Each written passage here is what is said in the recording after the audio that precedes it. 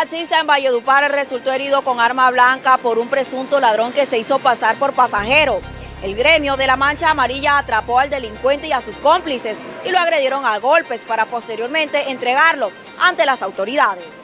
El caso ocurrió la noche de este martes en el sector La 44 de Valledupar. De acuerdo a lo narrado por algunos testigos, un delincuente al parecer haciéndose pasar por pasajero le pidió la parada a un taxi, quien a los segundos es abordado por otros dos sujetos cómplices del supuesto pasajero, quienes amenazan al conductor para que entregue todas sus pertenencias de valor. A esta hora, Barrio San Martín, Hospitalito Rodo Redondo, captura de dos delincuentes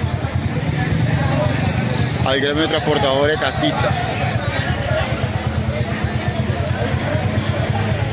Al lugar llegaron las autoridades policiales quienes procedieron con la captura de los tres sujetos, no sin antes la ola amarilla, darle la respectiva paloterapia. Llégueme, llégueme, porque está, estoy lleno de gente aquí. Le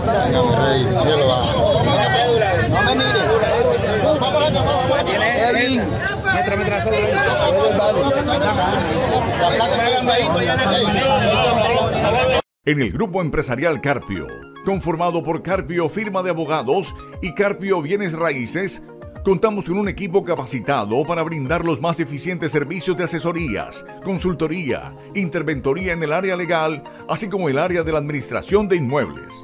Estamos ubicados en la calle 9A número 1557, en el barrio San Joaquín. Contáctanos al 316-666-1017.